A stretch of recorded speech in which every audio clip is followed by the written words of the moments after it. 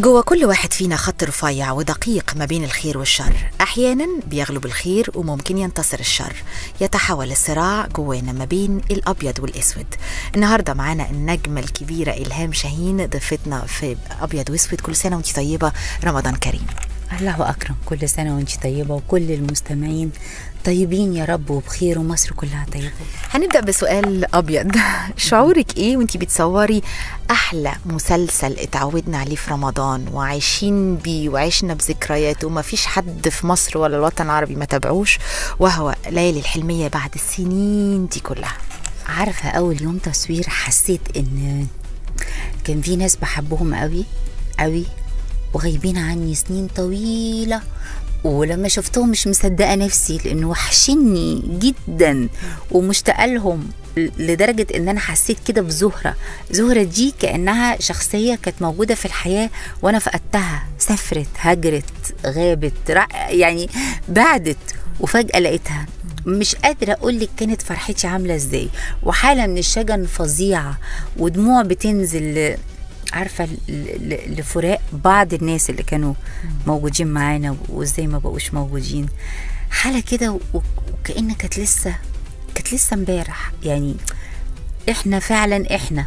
يعني زهرة هي زهرة عادل بدري هو عادل بدري نازك السلاحدار هي نازك السلاحدار كل الناس هي هي. لدرجة قعدت أقول معقول فات عشرين سنة. أنا مش مصدقة. مش قادرة أصدق. آه.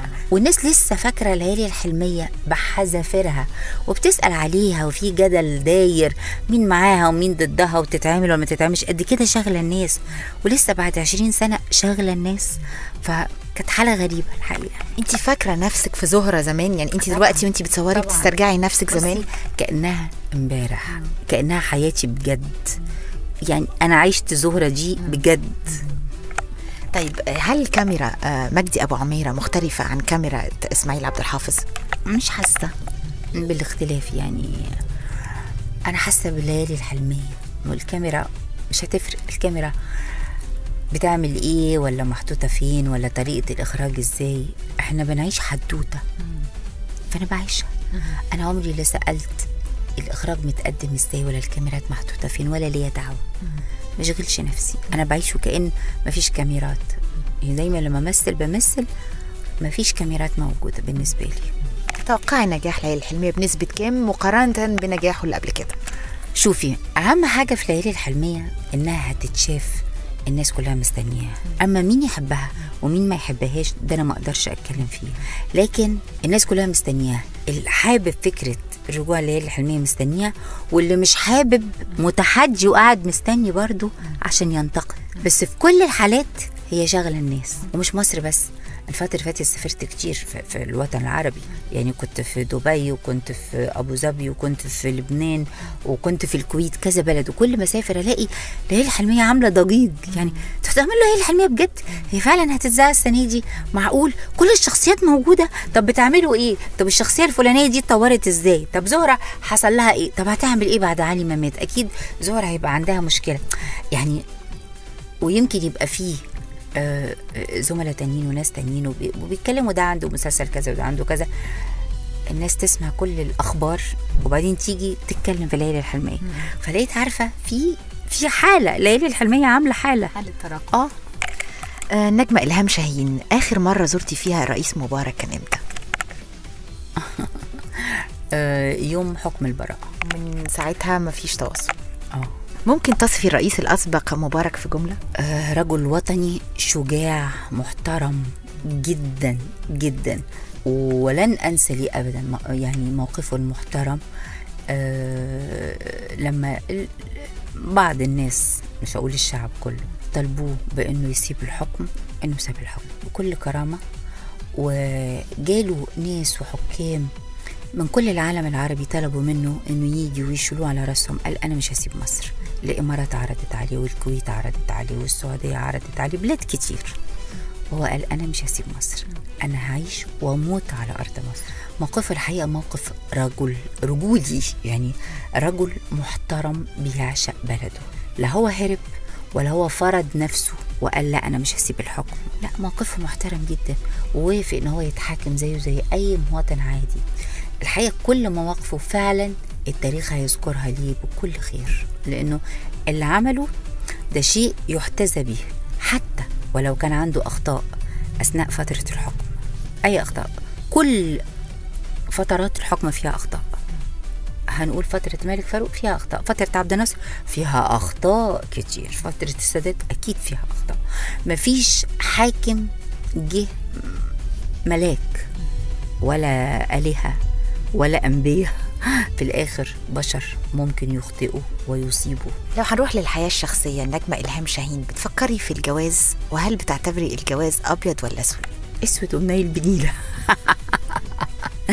لا الحقيقة ما بفكرش. مش شاغلة نفسي بيه. وحاسة إنه عارفة السؤال دلوقتي لما بيتقال لي بضحك. بقول يا جماعة أنا كبرت على إنكم لسه تسألوني هتتجوزي ولا هتطلقي. الكلام ده يتقال لي بنوته لسه صغيرة. هتعملي إيه في حياتك مستقبلك؟ خلاص أنا اتجوزت مرة واتنين واتطلقت. يعني بقى سؤال عارفة بعيد عني وبعيد عن دماغي يعني.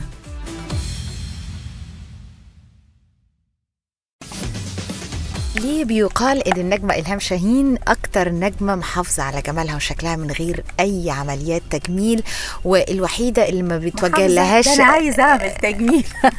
لا ما توجهلكيش اتهامات إن انت عملتي عمليات تجميل وشكلك هو هو مفيش حاجة اتغيرت فيكي و... والناس متأكدة إنك ما عملتيش عمليات تجميل. عشان شايفين الديفوهات باينة أهي. لسه عايزة أعمل يا جماعة. بصي بقى لي كام سنة أقول أنا عايزة أعمل. أنا مش مترفعة أو يعني مش مش شايفة نفسي إن أنا جميلة جدا ومش محتاجة. لا أنا محتاجة. وأنا مش شايفة إن دي حاجة عيب. زي ما بروح أصبغ شعري زي ما بحط مكياج. وعملية تجميل بقت زي كده. يعني سواء على فكرة للست أو للراجل. طالما إن العلم إدانا حاجة نقدر آه، نستخدمها. وتخلي الواحد شكله أجمل فليه لأ. فأنا مش ضد عمليات التجميل لكن أنا جبانة. يعني أنا خوافة جدا جدا. وجلدي حساس قوي وخايفة إني أعمل أي حاجة وشي ده رأس مالي يعني. إنه تفضل سايبالي علامات و... وفي ناس عملت عمليات وباظت وحاجات كده. فمش ثقة في النفس خلتني ما أعملش عمليات تجميل لكن جبن وخوف من إن شكلي يتغير أو يحصل. أي ديفو. وفي نفس الوقت أنا بقول إيه ما أنا بعمل أدوار مناسبة لسني. أنا مش هرجع أعمل أدوار يعني بنت لسه عايزة تتجوز ولا بنت لسه متخرجة من الجامعة. أكيد بعمل أدوار في سني بعمل دور أم ل... ل... لشاب ولا البنت هتتجوز. فمش حاسة إن شكلي مثلا مش مناسب. طالما إن أنا بعمل أدوار مناسبة لسني شكلي مش قلقان. شكل رمضان دلوقتي اتغير عن ما قبل 25 يناير؟ والله بصي 25 يناير دي جابت لنا الغلب. أكتر حاجة كرهتيها بعد الثورة إيه؟ أنا كارهة كل حياتي لغاية دلوقتي. مش عايزة تتعدل. مش عارفين نرجع زي ما كنا. أكتر حاجة كرهتها أه عدم الإحساس بالأمان. يعني من وقت 25 يناير بقيت مش حاسة بالأمان. ومع الأسف أنا لغاية دلوقتي يعني توابع 25 يناير شغالة معانا في عدم الإحساس بالأمان. الخوف من بكرة. كل يوم في ترقب يا ترى بكرة هيبقى فيه إيه؟ قبل كده كان الواحد بينام ومطمن ومش شاغل باله ببكرة و... آه يعني زي ما تيجي تيجي الحياة ماشية وعادية ومش قلقانين. لكن الحقيقة آه يعني 25 يناير أفقدتني الإحساس بالأمان. النجمة إلهام شاهين القبولات في الأفلام خدع ولا حقيقة؟ طبعا بيبقى فيها لمس. لكن أحيانا تتاخد بزاوية معينة يعني يبقوا الراسين في بعض بس هما شفايفهم مش في بعض. لكن يبان في الكادر إن هما في قبلة. لكن لو شفتي تلامس الشفايف هو مش خدع مش خدع آه إلهام انت مكسوفة من أي عمل قدمتيه؟ اطلاقا بالعكس. ليه السلفيين بيقولوا بيتهموكي باتهامات وبيقولوا إن انت متهمة بنشر الرذيله آه عادي دي ارائهم هم أكيد آه مش أنا بس في نظرهم كده هم كل أهل الفن بالنسبة لهم آه بيقدموا رذيله فأنا مش مستغربة يعني مش مستغربة آرائهم دي. آه الفن طول عمره موجود وعندنا ناس وأساتذة كبار وطول عمرنا الشعب كله بيحترمهم في مصر وفي الأمة العربية كلها وفي كل مكان. و أنا بقول يعني اللي مش حابب الفن بتاعي ما يشوفوش. أنت بتشوفه ليه وبعدين تيجي تقول ده رذيلة. طب ما أنت بتشارك فيه بمشاهدتك ليه. يعني ترفع على إنك تشوف. وبعدين الفن بقى كتير قوي. يعني مائدة مفتوحة بوفيه مفتوح تختار منه اللي أنت عايزه. اختار ما يناسبك. بتشوفي إزاي الهجمات المفبركة ضدك على الإنترنت وال social media؟ حاجة مقرفة يعني. يعني أساسا ال social media دي بالنسبة لي مقلب زبالة. كل اللي عايز يرمي فيه أي قرف بيرميه. نجمه إلهام شاهين بتغير من ليلى علوي؟ بموت فيها. ليه؟ مفيش غيرة؟ آه مفيش حاجة اسمها غيرة بينا في منافسة. آه طبعا كلنا في منافسة بينا ومش جيلي بس. ما أنا بتنافس مع جيل طلع بعدي واخد وضعه بتنافس مع جيل كان قبلي وكان قوي وأنا عايزة أدخل وأنافس. فالمنافسة ده شيء مشروع جدا لكن هنغير من بعض ليه؟ كلنا شغالين وكلنا ناجحين وإحنا أصحاب بجد. كيف تقيم إلهام شاهين تجربتها في الفن من الهلفوت وحتى ليالي الحلميه ياه. فاكرة الهلفوت؟ طبعا. بصي أصل أنا أقيم نفسي دي ده شيء سخيف برضو. أنا ما أعرفش أقيم نفسي. دايما أنا بترك الحكم للناس هم يقيموا. آه، هل يجب على المرأة تقديم تنازلات في حياتها لتستطيع العيش في المجتمع الذكوري؟ لا خالص مرفوض. هم اللي يتنازلوا عشان يعيشوا معانا. ليه؟ ليه إحنا زينا زيهم وأحسن منهم؟ أنا بشوف ستات مش بس عشان أنا مثلا إلهام شاهين وبقيت في وضع معين أو كده. أنا بشوف ستات بسطاء جدا جدا. واتفاجئ إن هي اللي شايلة البيت والولاد وهي اللي بتشتغل وهي بتصرف على جوزها وعيالها وبيتها. يعني الستات بيشتغلوا دلوقتي أكتر من الرجاله متى يعرض فيلمك يوم للستات ويعني إيه يوم للستات؟ هو في الأحداث يوم في الأسبوع اتعمل في نادي اجتماعي آه، عشان الستات وطبعا في حي شعبي الستات البسطاء جدا. يجوا ينزلوا حمام سباحة. دول طبعا ستات عمرهم ما شافوا لا بحر ولا ولا حتى ترعة. فمجتمعهم مقفول جدا على الحارة الضيقة. لما المية بالنسبة لهم دي بقى ليها معنى واليوم ده غير حياتهم. الإحساس بالحرية والإحساس بالنظافة والإحساس بالجماليات غير حياتهم وغير تفكيرهم واهتمامهم بنفسهم وطريقة تفكيرهم. وإنه مش الراجل يفضل قاهرها في البيت عشان هي جاهلة وعشان هي غلبانة وفقيرة إنه بس تقعد خادمة ليه في البيت؟ لا من حقها يوم تخرج ما تسألش فيه ما تعملوش حاجة وتعيش نفسها وتنزل وتعوم وتهيص وتضحك وترقص مع صاحبتها سؤالي الأخير ليكي نرجع لزمن الأبيض وأسود الأفلام الأبيض وأسود. مين النجمة اللي كنت تتمني تكوني مكانها؟ هنتخيل طبعا ما حدش بياخد مكان حد بس أنا هتخيل كنت حابة تكوني مكانها. ومشهد أبيض وأسود كنت حابة إن أنت تقدميه أو مهم بتفتكريه أو حباه مثلا أقول نهر الحب لفاتن حمامة. كان عندها مشاهد حلوة قوي مع عمر الشريف وكان عندها مشاهد حلوة قوي كمان مع زكي رستم. يعني في مشهد وهي بتواجهه. بيقول لها انت ممكن تبقي معاه يعني هي ممكن تبقى مع عمر بس من غير الناس ما تعرف.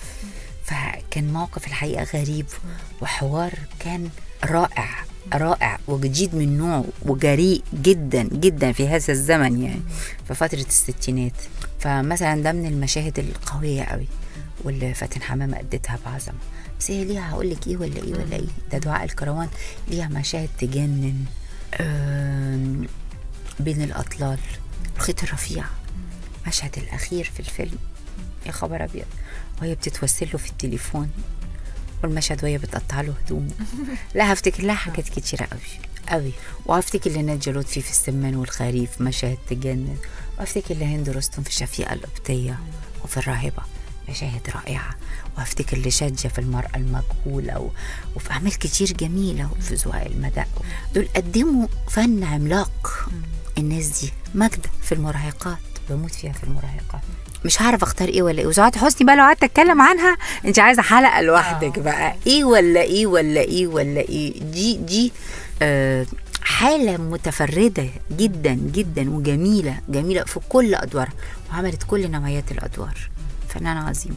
نجمة إلهام شاهين نشكرك على وجودك معنا على نجوم FM وفي أبيض وأسود ونتمنى لك رمضان كريم وكل سنة وأنت طيبة. وأنت طيبة حبيبتي رمضان كريم عليكم على نجوم FM وعلى الشعب المصري كله والشعب العربي وبتمنى يا رب يبقى رمضان خير وسلام ومحبة بينا جميعا. ويسود كده الهدوء والسلام والأمان. يا رب لينا وللأمة العربية كلها. يمكن إحنا مصر في وضع كويس الحمد لله دلوقتي. لكن أتمنى أن سوريا وليبيا والعراق واليمن حالهم يستقر وينتهي نزيف الدم الموجود وتعود بلادهم لقوتها تاني. لأن دي جيوش قوية. أتمنى إنها تفضل بقوتها عشان نبقى سند لبعض في الأمة العربية. فيا رب يبقى رمضان خير وسلام علينا جميعا.